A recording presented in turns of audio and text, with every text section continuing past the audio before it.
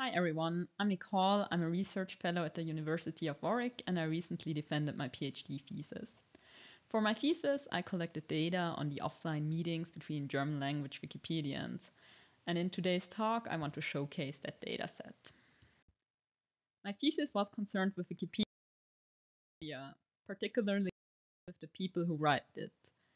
And I didn't only care about the online component, but I was especially interested in the people meeting offline in the real world.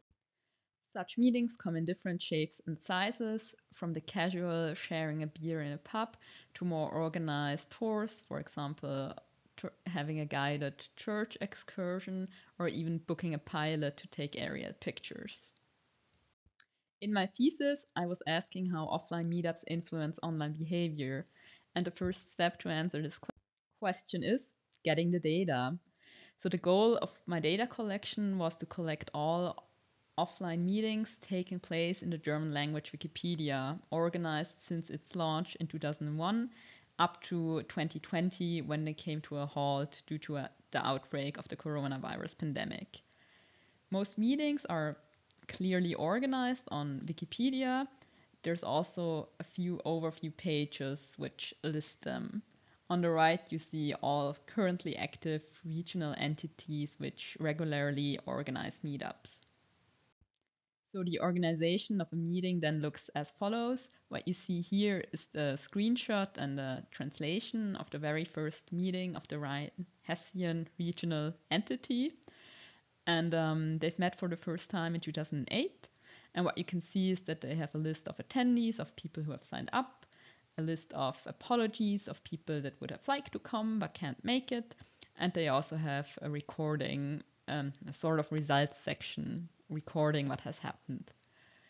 During my data collection, I aim to include all information which you can see here and which is relevant. So I try to collect who met where and when, and also um, the apologies sent and the minutes recorded if available. There are multiple pages which I checked for meetings because I tried to collect all offline meetings organized. So I started with overview pages which um, include all meetings or which include all editathons and all open editing events. And there's also an, an overview list of other events. I also checked all wiki projects and all task forces to see whether they have organized any meetings. Throughout the scraping of all these pages, I used the snowballing approach. So if any page linked to any other one which was relevant and included a meeting, I also scraped those. There are a few pages and meetings which I excluded from the data. First of all, I skipped all virtual meetings. Second, I didn't check any portals, whether they included meetings, because portals are more uh, they provide landing pages and are directed more towards readers than authors of Wikipedia. I also didn't check meetings which were organized um, anywhere else but the German language version of Wikipedia. So I didn't collect meetings organized on Meta or Commons. And I also needed to skip very regular meetings taking place in community spaces. Community spaces are interesting but they are places of extremely high Wikimedia activity, and in most of them, meetings take place several times a week, and people stopped um, having recording their attendance. Because of this, it was not possible to reliably give a list of attendees in community spaces. I ended up with a list of over 4,400 meetings and information on the place, venue, venue where they took place, and the corresponding coordinates, the date, the type of meeting, so whether it was more social or more work oriented, like an editathon, and a list of attendees collected from the minutes, recorded after the meeting if available, if not, then from the list of attendees. I also collected the apologies of absences as well as the minutes if available. So what we have is all attendees from 2001 um, up to 2020. The first two meetings out of those 4,400 took place in 2003 in Munich, and um, they have increased over time up to around 2008. Since then, we've observed around 300 meetings per year. The data set looks like this. So what you see here is the first five lines um, of the data set and the most important variables. Um, you see five example entries of meetings which were organized in Switzerland.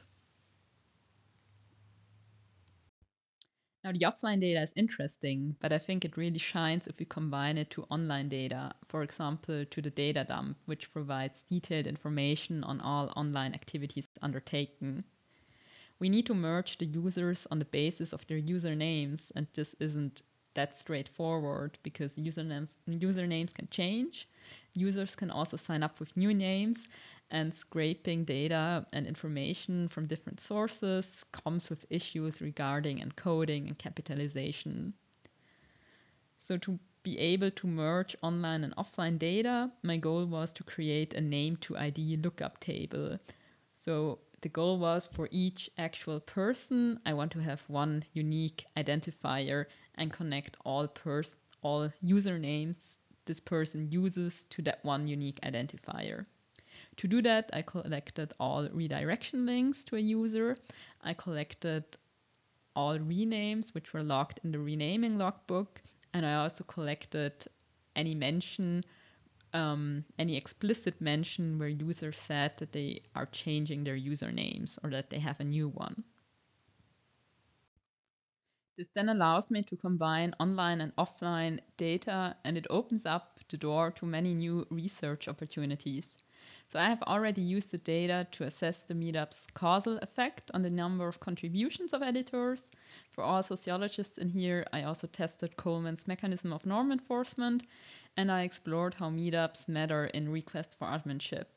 But there's so much more. So there's a spatial component in the data, there's a temporal component, we also have networks, there's lots to do.